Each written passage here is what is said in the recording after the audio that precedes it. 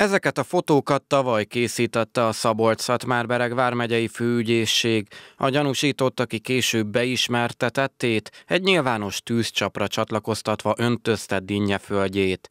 Rengeteg hasonló eset történt az utóbbi években, éppen ezért nemrég egy kampányt is indított a Nyírségvíz ZRT az illegális vízvételezés visszaszorítása érdekében.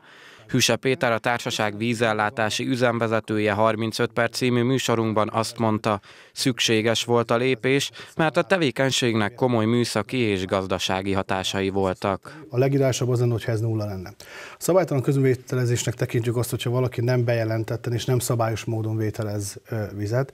Ezért bevezettünk egy olyan eljárás, egy olyan rendet, amelynek értelmében, hogyha valaki olyan igényel jelentkezünk hozzánk, hogy a vegetáció korai időszakában, de akár késő időszakában is öntözésre szeretne igénybe venni ivóvizet, építkezéskor építésvizeknek a felhasználására, olyan egyedi mérőhelyeket alakítunk ki, jellemzően tűzcsapokon láthatnak ilyet, tűzcsapokon nagyméretű órákat, de említettem itt például a, a cirkusz uh, időszakos megjelenése a bújtosi uh, tó mellett, ott is időszakosan adunk nekik vizet. Ez egy szabályos körülmények között vételezett víz, nem nem, nem történik, gyakorlatilag törvényszegés nem történik, semmilyen szabálytalanság és ennek a kifizetését követően mind a felhasználó, mind pedig a közműszolgáltató nyugodt.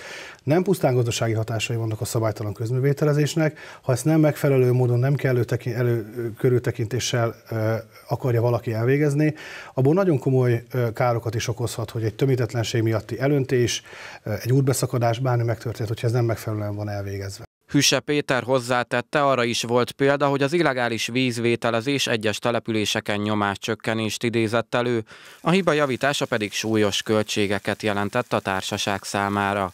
Az engedély nélküli vízvételezés egyébként szabálytalan közmű használatnak minősül, amelyért 30 ezer forinttól 1 millió forintig terjedő bírságot szabhat ki a hatóság.